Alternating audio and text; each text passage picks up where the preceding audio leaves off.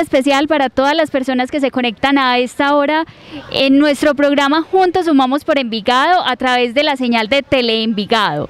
El día de hoy hablaremos sobre diferentes temas de salud. Mi nombre es Elizabeth Lara y me encanta poderlos acompañar en este programa.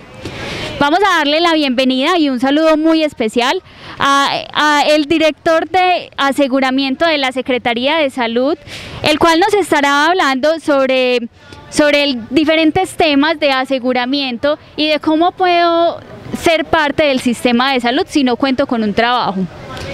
Adicional, contaremos con la presencia de la doctora Luz Dari Salazar Rendón, quien es líder del programa de salud mental. También nos acompañará el, secretario encargado César Camilo Mesa Vélez, quien nos estará hablando un poco de vacunación y de la actualidad del COVID-19 en el municipio de Envigado. Bueno, vamos a darle la bienvenida a Carlos Ignacio, quien nos hablará un poquito sobre, sobre temas de aseguramiento. Antes de hablar con él, los invitamos para que nos sigan a través de nuestras redes sociales. En Facebook y en Instagram nos pueden encontrar como Secretaría de Salud Envigado y, y en Twitter nos pueden encontrar como Salud ENV. Allí se podrán enterar de todos los programas que realiza la Secretaría de Salud. Hola, doctor Carlos Ignacio, ¿cómo se encuentra el día de hoy?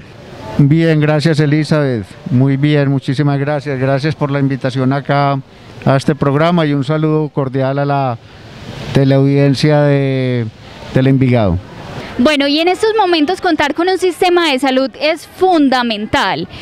Entonces, por esta razón, las personas es importante que cuenten con una afiliación en salud. Doctor Carlos Ignacio, vamos a explicarle a los televidentes qué significa tener CISBEN y cómo puede hacer una persona que no cuenta trabajo poderse afiliar al sistema de salud.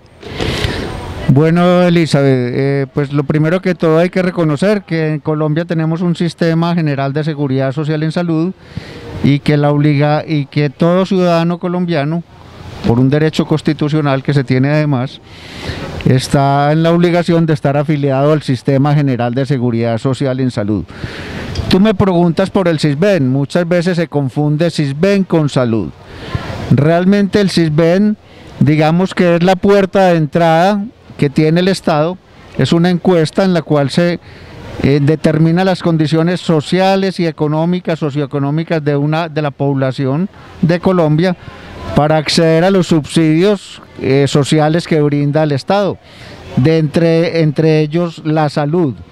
Eh, digamos que entonces el ingreso al régimen subsidiado en salud se hace a través de la encuesta del CISBEN para una población determinada. Hay alguna población, como son poblaciones o grupos poblacionales especiales que no requieren de la encuesta del CISBEN, pero la gran mayoría de la población lo requiere. Bueno, y entonces, ¿cuáles son esos requisitos que debe tener una persona para poder estar afiliado a ese sistema de salud?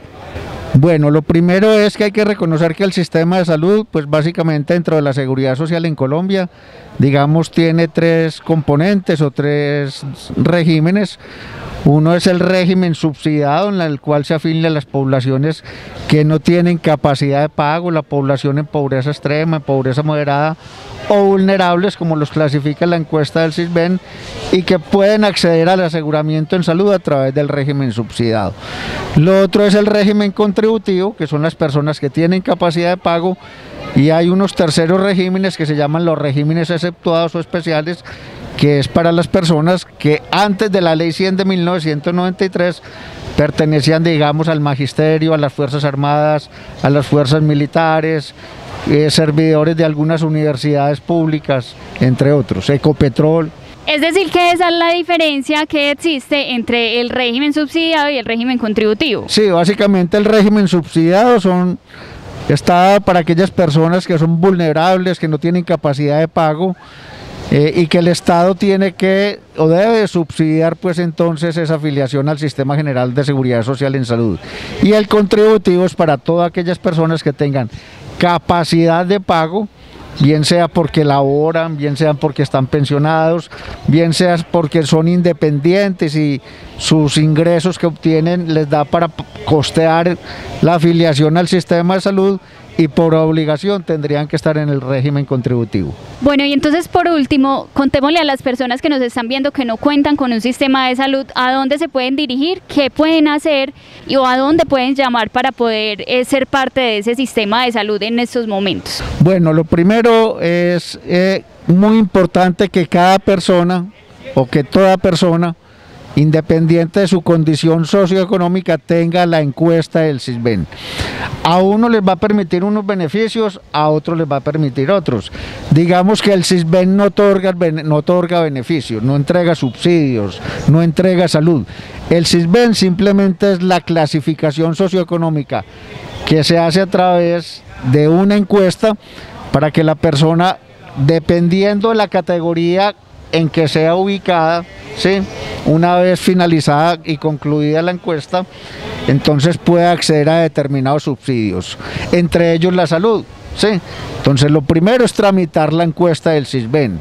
En Envigado hay una oficina eh, del CISBEN que eh, funciona donde, está, donde estaba la antigua Biblioteca José Félix de Restrepo, ahí media cuadrita arriba del edificio de Confama, ahí pueden tramitar la encuesta. Ahí entonces los atienden, llevan sus documentos, que básicamente es la cuenta de servicios públicos, sus documentos de identidad de cada persona de la casa, las fotocopias, y ahí les programan la encuesta, ¿no es cierto? Una vez tengan el certificado de que esa encuesta está en trámite y no tengan la afiliación en el régimen subsidiado en salud, bien pueden acudir a la Secretaría de Salud, donde entonces en las taquillas de la Secretaría, en horario de oficina, tramitan su afiliación al régimen subsidiado de salud, siempre y cuando cumplan con los requisitos para ello. Perfecto, Carlos Ignacio. Es muy importante para las personas que no cuentan con el sistema de salud conocer a dónde se pueden dirigir y saber qué pueden hacer en este caso. Muchas gracias por acompañarnos el día de hoy en el programa Juntos Sumamos por Envigado. A ti, Elizabeth, y como este espacio es corto, pues entonces cualquier persona que tenga una inquietud o quiera que le aclaremos más cómo acceder al aseguramiento en salud, estamos de puertas abiertas para toda la comunidad de Envigado y para cualquier persona, para en la Secretaría de Salud a través de nuestros funcionarios de la Dirección de Aseguramiento, pues darle las indicaciones qué es lo que debe hacer. Y tenga lo que tú decías al principio, el acceso al Sistema General de Seguridad Social en Salud a través de un asegurador que sería una EPS del régimen subsidiado. Bueno, muchísimas gracias por acompañarnos. Vamos a unos cortos comerciales y ahorita continuamos con hablando sobre todo el tema de salud.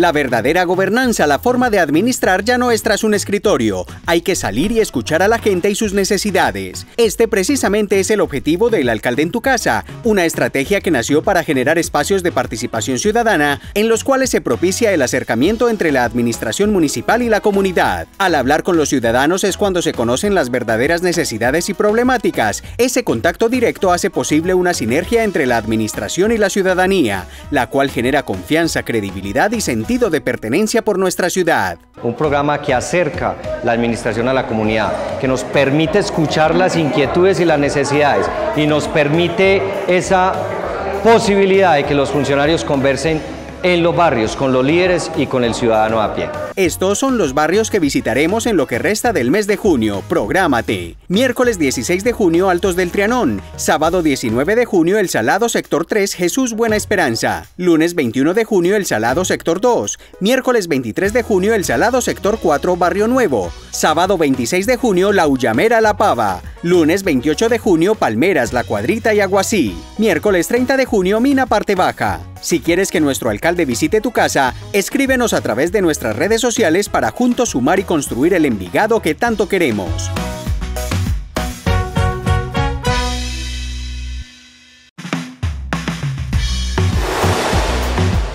El Instituto Colombiano de Normas Técnicas y Certificación ICONTEC otorgó a Enviaseo la certificación internacional de calidad norma ISO 14001 para el sistema de gestión ambiental. Es la cuarta empresa de servicios públicos en Antioquia que recibe esta gran distinción. Asimismo, se le concedió la renovación del sistema de gestión de calidad ISO 9001-2015 para los servicios que presta la empresa. Estamos contentos, son 362 empresas a nivel Antioquia referente al manejo de residuos sólidos y apenas 3 certificadas en la 14001. Y hoy Enviaseo es la cuarta.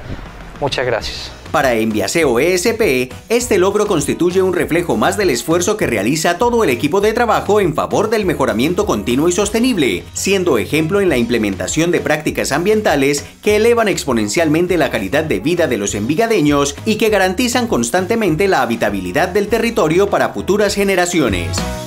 Juntos sumamos por Envigado.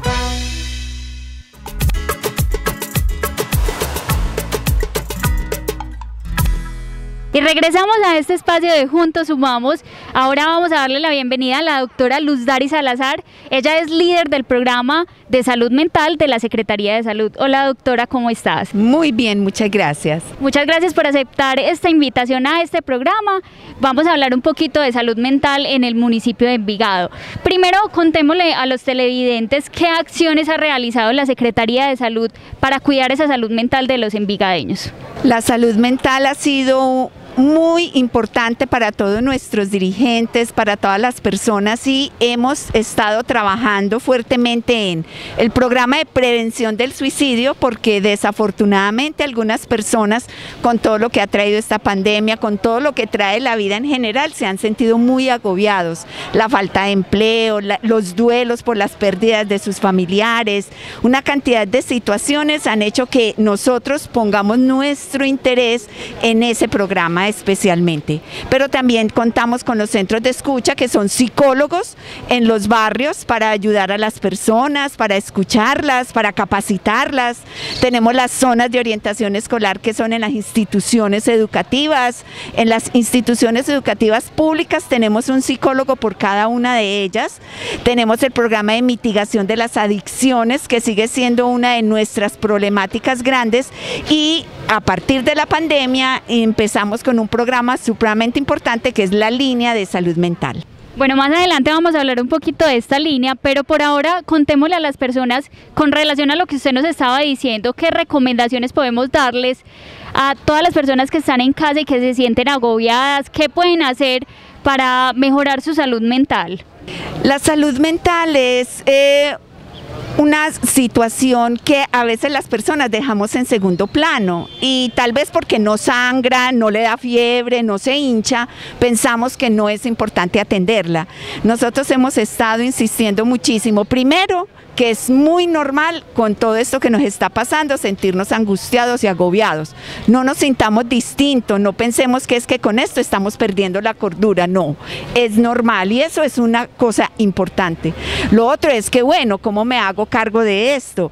Si voy a hacer más ejercicio físico, esto ayuda, si de pronto hablar con alguien, que por eso fue que creamos la línea de salud mental también, si es que vamos a necesitar de pronto un servicio, eh, una atención, no nos angustiemos, vamos donde el médico, contémosle para que él pueda activar la ruta necesaria que nos pueda ayudar en esos momentos que estamos teniendo angustia. Hablar, hablar muchísimo de eso es bien importante. Bueno, y en el transcurso de la entrevista hemos hablado mucho de una línea. Contémosle a las personas qué es esa línea, cómo se pueden comunicar y para qué sirve esta línea. Bueno, eh, las personas a veces ya en este confinamiento o ya ahora que se ha dado la apertura, pues han ocurrido diferentes situaciones en su vida.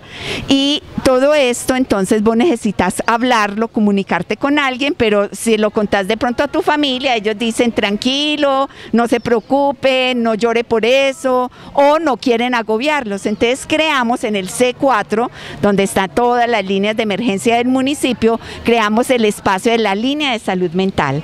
En el 276-6666, ahí los podemos escuchar cuando les contesten, dicen que necesitan un psicólogo de día y de noche, los siete días de la semana, 24 horas al día. Siempre van a tener un psicólogo para escucharlos. Pero resulta que a veces no quiero hablar, sino escribir, porque no quiero que alguien de la familia me escuche. Las casas no son tan grandes. Entonces creamos también una línea de WhatsApp. El número es 300 786 4016. Es bien importante que todos sepan que cuentan con estos recursos cuando o sienten que su vida está en una angustia muy grande, con una depresión, con una rabia, con una incertidumbre o porque veo que alguno de mis familiares se está sintiendo así. Entonces ahí tenemos esos dos recursos para que puedan acudir a nosotros. Bueno, entonces todos los televidentes ya saben que pueden eh, llamar a, esa, a esta línea de salud mental para sentirse escuchados. Allí los van a escuchar, los van a atender y les van a ayudar. Doctora Luz Dari, muchas gracias por acompañarnos el día de hoy y por hablarnos de este tema tan importante que muchas veces se olvida y que es muy importante para la comunidad también conocer que es importante mejorar su salud mental. Muchas gracias a todos ustedes y ahí estamos entonces atentos para atenderlos. Vamos a unos cortos comerciales y ya continuamos hablando un poquito de COVID y de vacunación.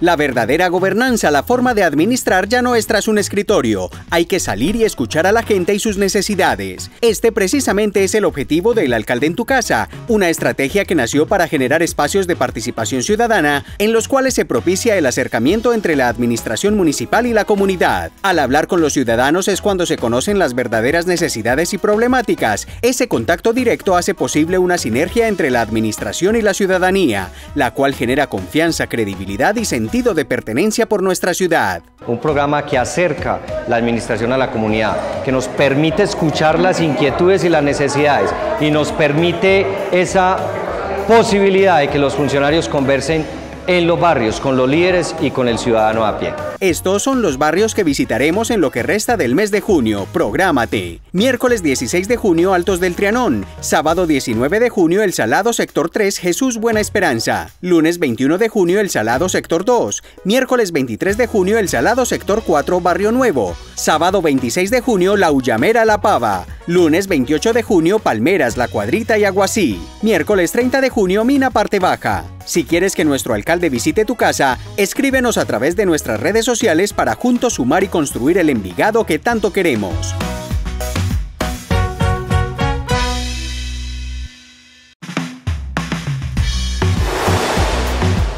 El Instituto Colombiano de Normas Técnicas y Certificación ICONTEC otorgó a Enviaseo la certificación internacional de calidad norma ISO 14001 para el sistema de gestión ambiental. Es la cuarta empresa de servicios públicos en Antioquia que recibe esta gran distinción. Asimismo, se le concedió la renovación del sistema de gestión de calidad ISO 9001-2015 para los servicios que presta la empresa estamos contentos, son 362 empresas a nivel Antioquia referente al manejo de residuos sólidos y apenas 3 certificadas en la 14001. Y hoy Enviaseo es la cuarta. Muchas gracias. Para Enviaseo ESP, este logro constituye un reflejo más del esfuerzo que realiza todo el equipo de trabajo en favor del mejoramiento continuo y sostenible, siendo ejemplo en la implementación de prácticas ambientales que elevan exponencialmente la calidad de vida de los envigadeños y que garantizan constantemente la habitabilidad del territorio para futuras generaciones. Juntos sumamos por Envigado.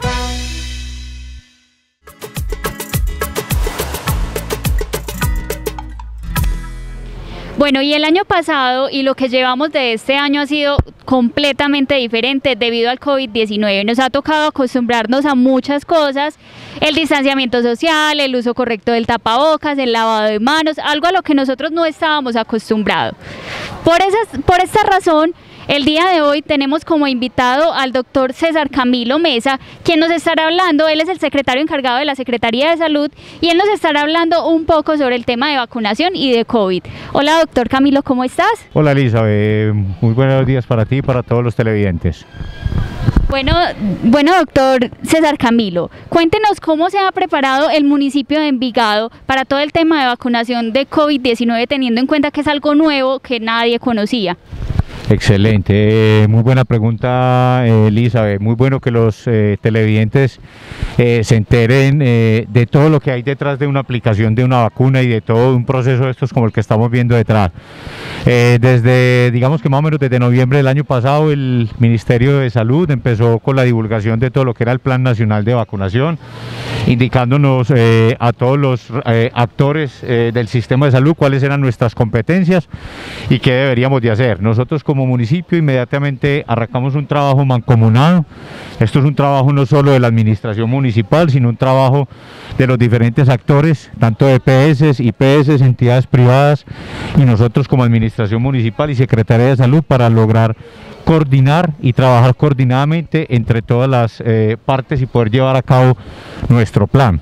Eh, digamos que esto es un proceso, en el Plan Nacional de Vacunación hablan de un proceso de planeación y de microplaneación, el cual eh, lleva a eh, analizar todas las minucias, todos los factores de riesgos, todos los posibles errores, todas las condiciones de cadena de frío, una cantidad de temas para poder aplicar eh, una vacuna eficientemente y tranquilamente a la comunidad, eh, que ellos sepan que estamos aplicando eh, un biológico que cumple con todas las características técnicas de refrigeración, de cadena de frío y siguiendo las recomendaciones de las marcas. Nosotros iniciamos eh, desde enero un proceso de planeación con EPS y IPS en donde planeamos y miramos, hicimos un análisis de cuántos eran los susceptibles del municipio de Envigado, dependiendo de las etapas. Recuerde que esto viene por unas fases y unas etapas y cada, cada etapa trae unas dinámicas dependiendo del número de poblaciones y digamos que eso hace parte de toda esa planeación que hicimos para poder lograr eh, llegar a esas coberturas útiles de vacunación contra COVID-19 en el territorio. Perfecto, es muy importante que las personas conozcan todo este proceso y todo lo que lleva, porque es investigación, es estudiar, es llegar a algo nuevo. Entonces, usted nos hablaba algo de los puntos de vacunación y de que todo ha sido un proceso.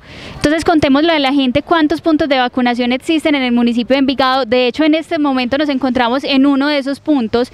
Entonces, contémosle a la gente cuántos puntos hay, en dónde están ubicados y si siempre se ha tenido estos, estos puntos de vacunación. Perfecto, esto es una pregunta muy importante porque dependiendo de la información que tenga la gente, pues más fácil vamos a lograr de que la gente se vacune eficientemente. Entonces, digamos que esto ha sido una dinámica que ha sido cambiante durante todo el tiempo. Cuando arrancamos el plan de vacunación y la primera vacuna la aplicamos el 18 de febrero de este año, el municipio de Envigado tenía más o menos 11.000 susceptibles a vacunar. Recuérdate que empezamos con los mayores de 80 y con los profesionales de la salud de la primera línea. Para eh, el inicio de esta primera etapa, el municipio de Envigado eh, logró habilitar en, conjunto con las instituciones prestadoras de servicios de salud cinco puntos de vacunación. En esos cinco puntos de vacunación, 11 equipos de vacunación los cuales eh, más o menos tenían la capacidad de aplicar entre eh, 900 y 1200 vacunas al día. Eso fue, eh, digamos que la primera parte con lo que iniciamos con puntos de vacunación. Cuando pasamos a la etapa 2, ya no teníamos 11.000 susceptibles, sino que teníamos 83.000 susceptibles. El municipio de Envigado no se podía quedar con los mismos 11 puntos de vacunación y lo que hicimos fue aplicar un tema que nos lo propone el Plan Nacional de Vacunación que se llama el Plan de Expansión. Y en ese plan de expansión logramos abrir tres puntos más, con una muy buena noticia para el municipio de Envigado de que abrimos el centro de vacunación vehicular, donde se iban a vacunar más o menos 3.000 vacunas, aplicar 3.000 vacunas al día para toda la población de Sura, del Valle de Aurrá, incluidos los de Envigado. Y logramos habilitar otros dos puntos y con esos eh, logramos tener ocho puntos para esta segunda etapa con 26 puntos de vacunación. Pasamos de aplicar mil vacunas a más o menos 3.000 vacunas al día.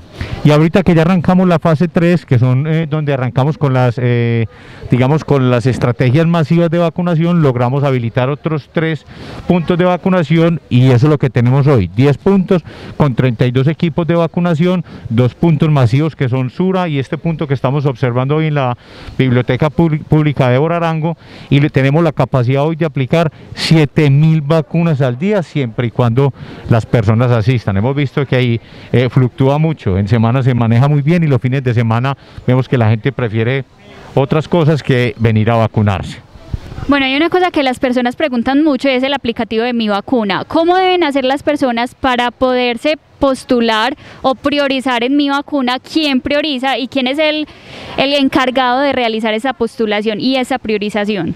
Perfecto, Elisa, bebé. Eh, eso es importante porque diariamente a la Secretaría de Salud están llegando eh, por diferentes medios, redes sociales, correos electrónicos, derechos de petición, eh, peticiones, quejas y reclamos.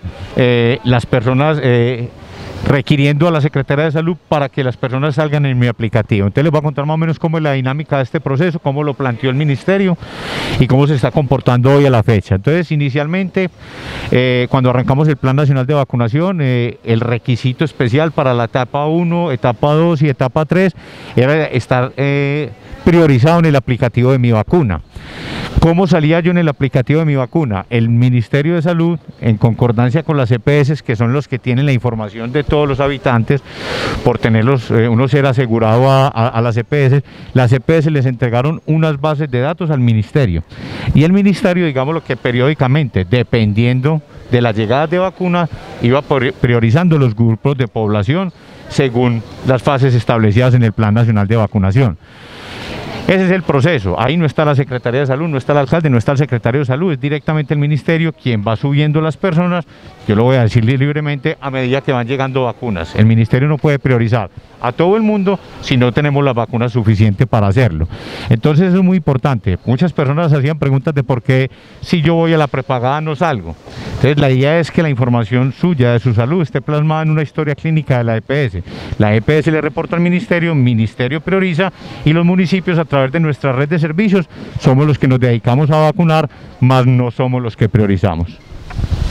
Perfecto. Y hay diferentes estrategias que desde la Secretaría de Salud se han manejado para el tema de contagios de COVID. Cuéntenos un poquito de esas estrategias que se han realizado en la Secretaría de Salud. Perfecto. Eh, yo pienso que ese es un tema, todas las preguntas obviamente hoy de COVID son importantes, pero pienso que esta es una de las más importantes y voy a aprovechar este espacio para promover hoy el autocuidado. Todos los días estamos viendo en los noticieros que cada dos días estamos superando los fallecidos, cada día estamos superando los casos y hemos visto que con las nuevas cepas los casos nuevos cada vez son más graves. Hoy más estamos viendo al principio de la pandemia vimos que los afectados eran los mayores de edad, las personas con comorbilidades, hoy estamos viendo fallecimientos de todas las edades y la idea es esa, promover hoy el autocuidado, ya depende de nosotros, ahorita arranca la reapertura económica, nos están entregando el gobierno, nos está entregando la responsabilidad a nosotros como ciudadanos de cuidarnos, cuidar nuestras familias y aplicar las medidas de protección personal. Eh, digamos que desde hace más o menos seis meses venimos aplicando una estrategia PRAS, la estrategia PRAS, que es una directriz del ministerio, que se llama prueba, rastreo y aislamiento social selectivo, y la idea es hacer eh, pruebas masivas en todo el territorio, dependiendo de una clasificación. El municipio está dividido por zonas y nosotros eh, esas zonas las analizamos eh, con un equipo de profesionales multidisciplinarios, epidemiólogos y unas estadísticas que nos dicen cuáles son las, las zonas con mayor número de casos y mayor número de fallecimientos.